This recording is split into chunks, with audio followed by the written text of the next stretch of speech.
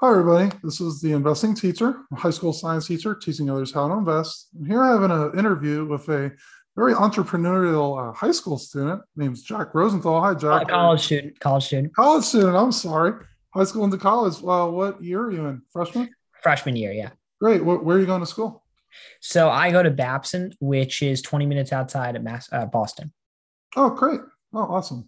And um, so, Jack, you actually reached out to me, and definitely like saying that. Sometimes I try to reach out to others, but when I saw someone reaching out to me about the very entrepreneurial spirit you have, um, definitely wanted to take have a good conversation with you.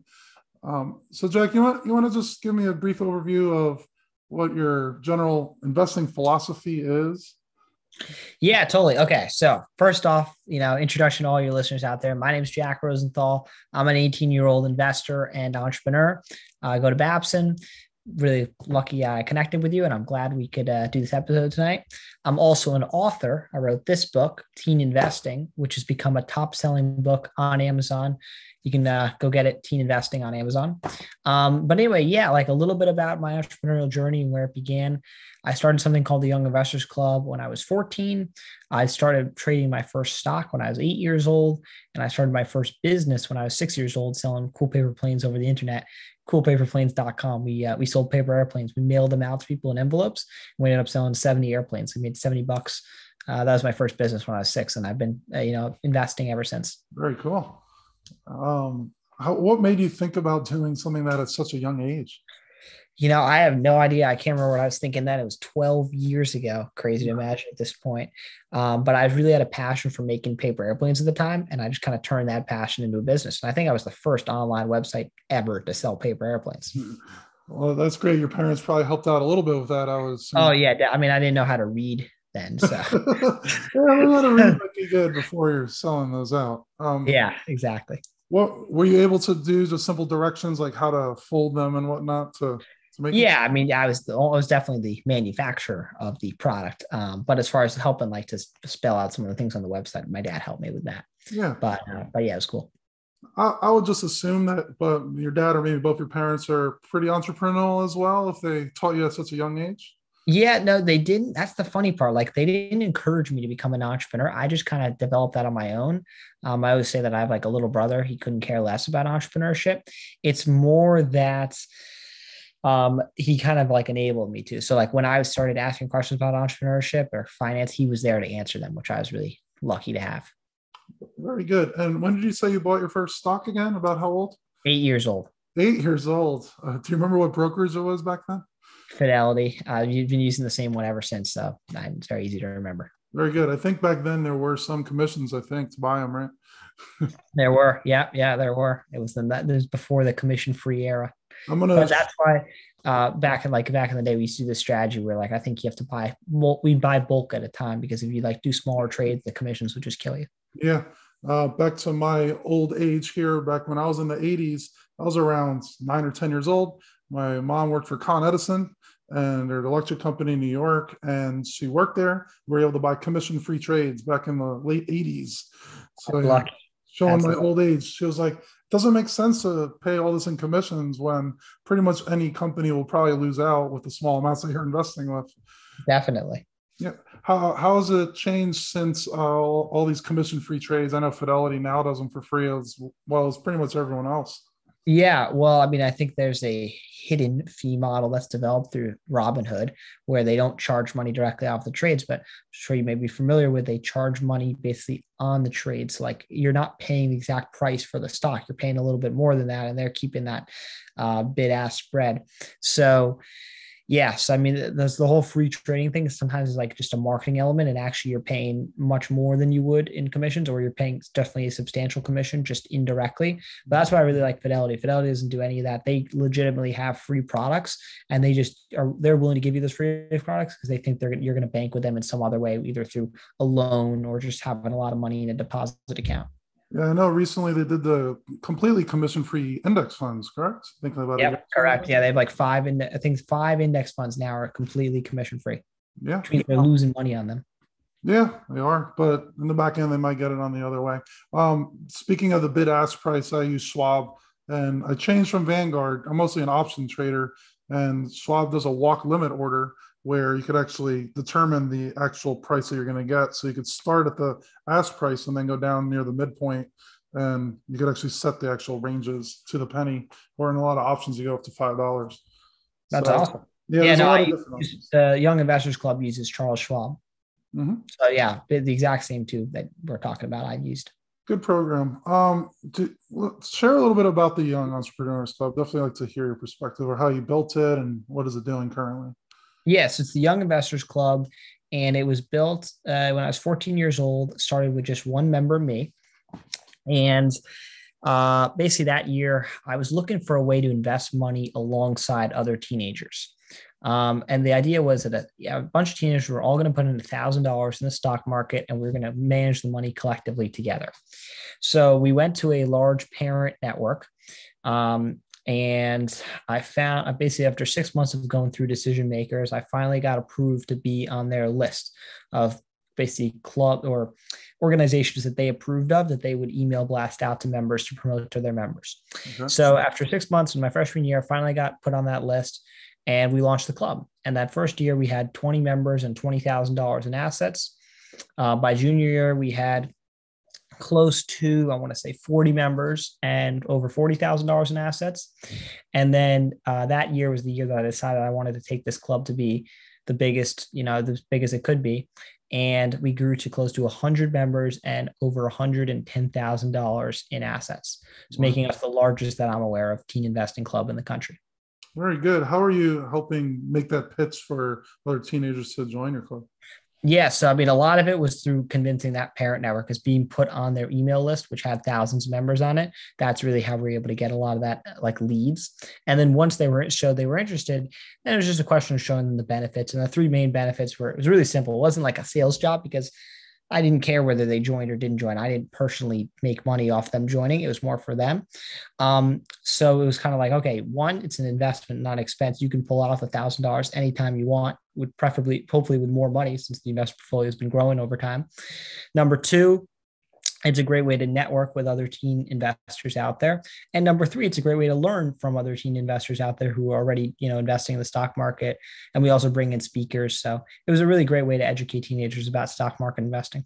Awesome. Um, was it a communal group of what type of securities you wanted to invest in, or was it up to the individual people to decide?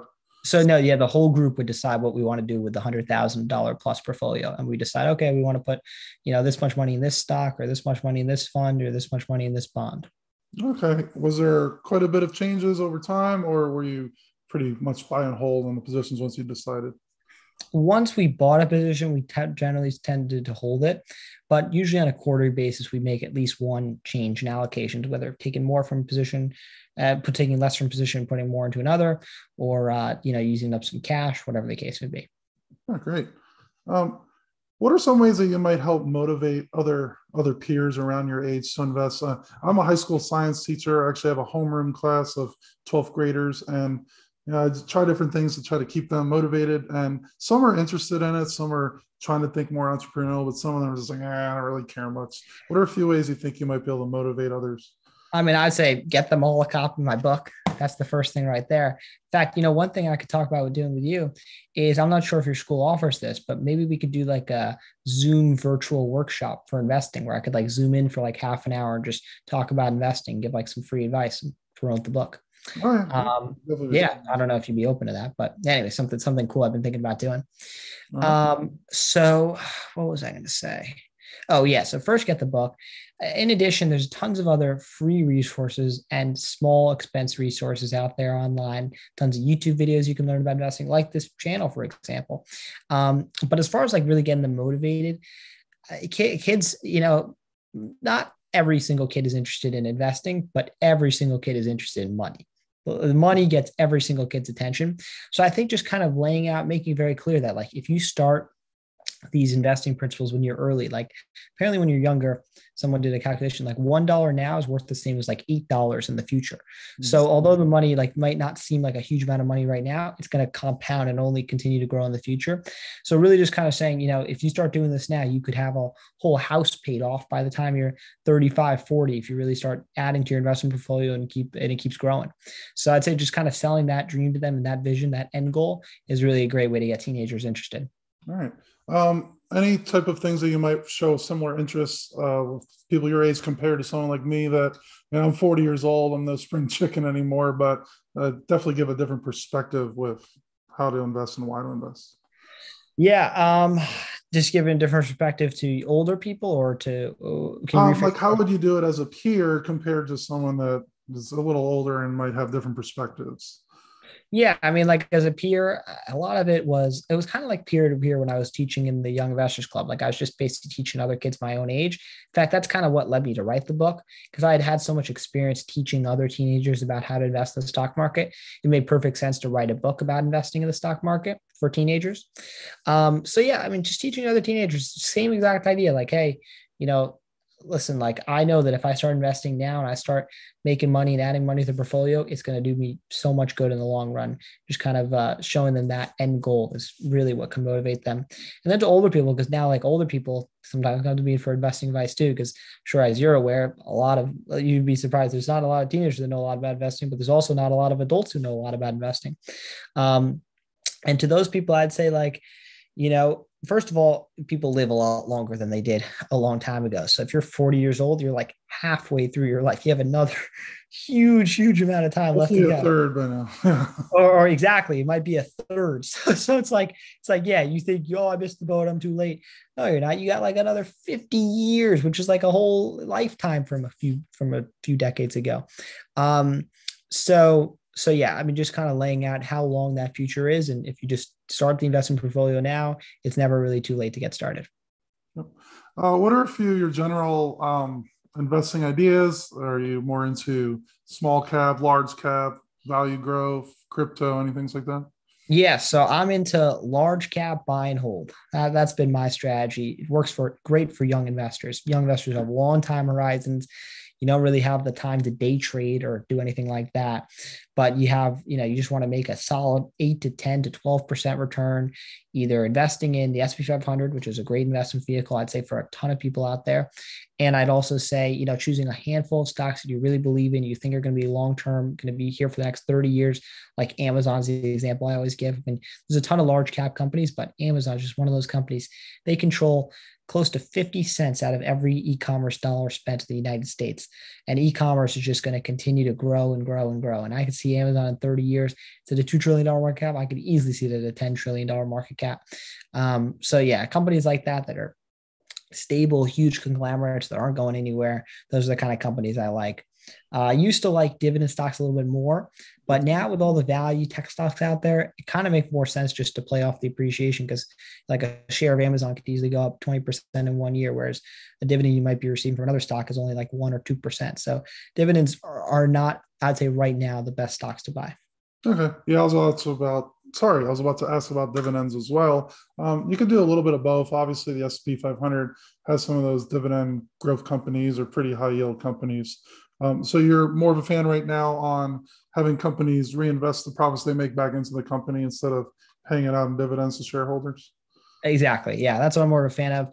There's other there's other higher income producing assets other than dividend stocks if you're looking for uh, monthly income or quarterly income. Mm-hmm. Have you looked into any alternative investments, cryptocurrencies and whatnot? Yep.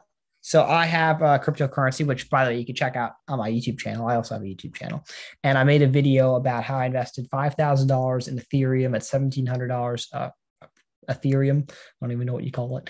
Um, and, and now whatever, I don't think it's like worth 1.8 times that now, something like that. So that investment's done really well. Um, that's, that's really my only exposure to cryptocurrency.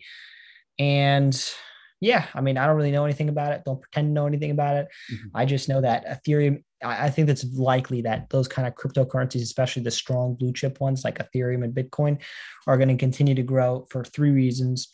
One, millennials um, are really good at adopting the concept of online money. You know, like millennials and Gen Z grew up with the idea of online money. All the money's on like a bank account on their phone. And the older generations just never saw that. They always had to see the physical thing. So millennials are more used to digital currencies. Two, um, millennials and Gen Z are, I think that they're more likely to to what was the, what was the second reason I was good? Well, oh yeah, the first also second inflation. So inflation's eating away the U.S. dollar every single year. You know, you're losing two percent, whereas the cryptocurrencies fixed amount of them. And number three, I think that cryptocurrencies are great investments to other alternative investments like gold. I think cryptocurrencies are way more efficient. You don't actually have to hold the physical thing, but it's a virtual kind of version of gold. So those are the three reasons why I think it'll continue to grow. But besides that, I don't pretend to know too much more about it. Yeah, uh, I do some option selling on Riot, Mara, BTBT. They're companies that look for mining for these bitcoins and whatnot, and try to find them that are pretty much lower than the current price. Say um, Mara is around thirty dollars a share. Just make a side bet with someone, essentially selling a cash secured put around twenty five, so you have some downside protection. And then if it hits 25, you're agreeing to buy at that price. But if not, you get to collect the premiums. So it does correspond with the Bitcoin price quite a bit. Um, what about other type of entrepreneurial things like side businesses? Anything that you're interested in doing yourself? yeah. Um, so a few things. Well, first of all, the, the book has kind of turned into a business. I didn't really realize that would happen, but now the book produces like passive income every single month, which is really cool. Mm. Um, and I also do some some marketing work for some other businesses where I help some businesses with their online uh, presence on uh, online. So that yeah, that's what kind of entrepreneurial activities I'm involved in. What other passive income streams are you thinking of? Maybe long term, five, ten years down the road. Um, I mean, I'd like to get. Let's see.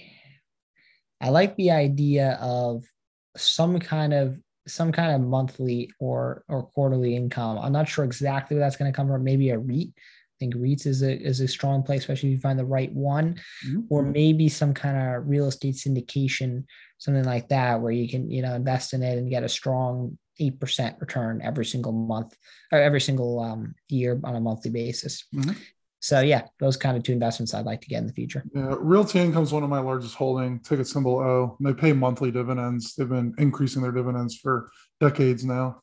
And um, I know there's a view of these other um, Yieldstreet, I think, and whatnot, where or Fundrise, where you could do partial amounts like partial deposits into large properties. Yeah, Fundrise, and you know, there's a bit of a big guy. Uh, there's some other influencers that also have their own real estate syndication funds. Mm-hmm. All right, great. Uh, do you have any questions for me in general? I think I have a little questions I had for you. Yeah, yeah. Um, well, first of all, it was cool to uh, to meet you on here. But a few questions I had for you. So one, like obviously, I think you're kind of paving the path like a teacher. Someone generally people wouldn't consider a teacher to be an investor. So I think you're like kind of breaking down that kind of route and just showing that first of all, like you know, anyone, no matter what profession you are, can invest. But I'd also say like, you know, what's your biggest advice? Like, how have you as a teenager, how have you as a teacher, who generally people say like, you know, people don't go into teaching to make millions of dollars. How in general have you as a teacher still been able to use that to build up a sizable investment portfolio? Like, what have you done? What strategy have you used? All right, good question. Um, I initially started as a financial advisor. I worked at Ameriprise, and I thought it would be good at actually helping people with their money, you know, with their investments and whatnot. But it ended up being just a sales job to me, where a lot of times we would be giving advice on pretty high high fee mutual funds that are not necessarily in the best interest of the client. And then again, it felt like a sales job, just finding more and more clients, not necessarily helping them out with it. Uh, I did have a science background, so I was a biology major, and then I was easily able to get into science teaching. So I've been teaching for like 15 years now at this point. Um, I always knew that if I'm going to be a long-term teacher, I'm going to have that pension, which is pretty rare. And I know I'm going to have a fairly stable income. You could treat it almost like a bond fund. And we don't know exactly what's going to happen with pensions in the future for teaching, but in general, most states, I'm in Texas, they're relatively stable. And you could make a fairly decent prediction of what the monthly income is. So I knew that if I teach until probably 60, 62 years old, I'm going to be getting almost 80, 85% of my income the rest of my life for just teaching. So I knew that I already had that as a buffer. And then for the other side of it, what I'm noticing a lot of teachers are they still want to stay on that safe side. They leave it in a savings account, maybe earning one or two percent. Maybe they start in the bond funds. But since I knew that I'm getting that pension, I made an investing philosophy in my head when I was like 28 years old. I'm going to go 100% in the stock market until I'm 50 years old. And then at 50, I'll probably start adding a little bit of more conservative, safer bonds and whatnot. Um, that was a great idea. Yeah. And then a few years ago, I just thought this would be a good avenue to go about actually teaching people about different investing philosophies. Um, I did a lot on dividend investing about a year ago, been looking at individual company analysis. And now I switched gears quite a bit into option selling. So looking at selling premiums to get income as well. And that's gone very well in the last few months. Oh yeah, I'm thinking about doing option selling as well. I've heard you can make about 12% a year, right? 1% a month. Yeah. Um, I'm not going to put it to heart right now. My goal, and uh, I'm doing videos every week is 2% a month. And the last, say January, I was at like 16%. It was crazy. February is about 13%, and March and April are about 6%. So I don't I don't necessarily think it's going to last that long. The market could easily fall, especially the VIX has been selling options. You're making six percent a month. Yeah, it's just selling options. So essentially, you look for a company that's at a certain price. You may or may not necessarily want to own it, but I use what's called the wheel strategy. So again, say you have a stock that's at thirty dollars a share. You want to find a good support level where it typically doesn't go much below maybe say $25, so lower than the current share price. And then you essentially make a side bet with someone saying, you know, the stock's at 30, I'll be willing to buy at any time in the next month at say $25. So you do have a little bit of a cushion there. Obviously, if I'm going to be making this bet with someone, I need to get paid for it because I'll be taking a lot of risk if the stock completely tanks to say $10 a share. But if the stock hovers above 25, you'll get to keep the premium. And I typically look for premiums that are about 4% a month.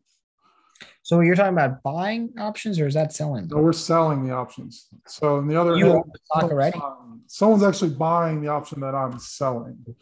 So it's working. So do you own the stock already or you're just buying? If you right? own the stock already, it's called a covered call, which is typically the second side of what's called the wheel strategy. So the first side is usually called a cash secured put. In that case, let's say I'm making the bet that'll be $25. Maybe they'll pay me $100 for this particular bet that I'm making. Um, for $25 a share, you have to do in 100 share lots. So you have to put up $2,500 into your brokerage account, just leaving it in case it gets to 25 or lower. Gotcha. Gotcha. Okay. So you're so you're talking about which options are you selling? Are you selling are you selling call options? I'm selling put options. So put options, put options when they go lower.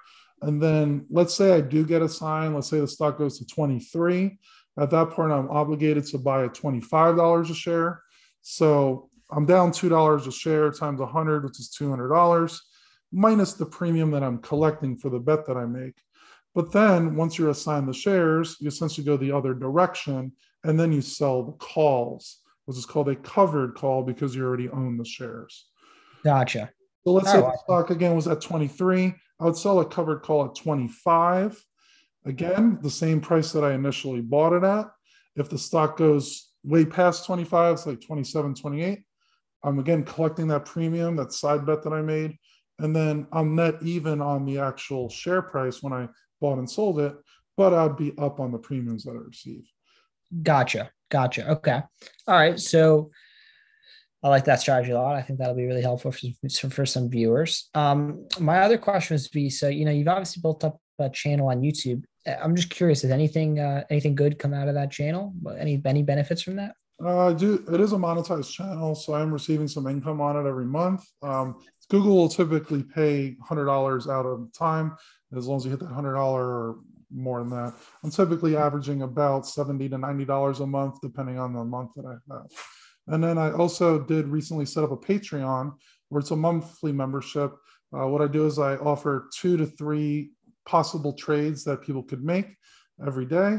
And then I'm doing all the data on the support levels, the percent gain, the probability that I might reach that price or not. And I'm looking for high probability trades. So I do a monthly Patreon on that where we're at already 13 members and they're paying $20 for that service. Oh, that's awesome! So you built uh, you built two real businesses out of it. It's always funny how the uh, yeah. the add-on services to YouTube always make a lot more than the actual YouTube ad revenue itself. It does happen a bit, but I do use the YouTube as that initial, uh, you know, avenue that people can understand the strategies because a lot of people that when they first start out, I'm not going to just try to sell them the benefits to actually getting these trades. I want them to educate them first, understand the reasoning why we actually go about the methodology that we do. Gotcha, gotcha. All right, well, that's really cool. Um, let's see. I don't know anything. Anything last you want to talk about? I mean, you know, uh, have you ever taught any students about investing? Have, have any yeah. students learned from you? Yeah, again, I do have a homeroom. So twice a week for 30 minutes, I do have essentially a hostile room that has to listen to what I say. Obviously, we're going to be talking things like colleges, some basics on saving, you know, how to pay for college, student loans, things like that. And that's the main focus of what a lot of the students that I have and their questions on it. Uh, and then I do briefly touch on investing when they're interested in it. Um, the issue I'm having is having a pretty small percentage of my group are actually interested in the growing the money side. They're more interested in the applications for the near future. Like, how do I not get a college degree with $50,000 in student loans? Right. That makes total sense. Like, you right. know, instead of trying to grow their small investment portfolio right now of a few thousand dollars into 10,000, they want to try and figure out how to minimize that expense down the line, which makes total sense as a student myself. I kind of see, I can see it, kind of see how a lot of students are just thinking about the short-term debt option. Um, okay. So that's really cool. So you teach students in school. What do you think about those forced learning options versus like optional learning? So mm-hmm. do you think it'd be more beneficial having students choose the option to take an investing class or do you think forcing them to take an investing class would have a bigger impact on them? Which do you think would be better? Yeah, good question. I know some states are making it required now to do like a basic personal finance course, while other states they do have an optional course for that. I know in Texas it's not required. They do have to take economics, and a lot of the economics teachers I talk to do, you know, the free stock market challenge of the fake money and whatnot. But they briefly touch on these personal finance concepts. Um, I think it's just having that organic knowledge of thought of understanding why i think that's more important in general. I mean i don't think it's necessarily a bad idea to have a required course but uh, i'm already getting some rumblings. I had three students um, two of them aren't even my students but they just hear what i'm saying in homeroom. They're interested in learning more about this so we are going to start an actual investing club as well. I'm not sure if we're going to do it with actual money or not but definitely want to teach them you know basics of stock market different retirement accounts and whatnot yeah, yeah, totally. Well, hopefully we can send some books to your school, and you know those could help to be educate. Those could hopefully be educational to students. That'll be great, and definitely if you want to speak to any of our our students as well, we definitely should set that up with that. All right, cool. We'll talk about that offline.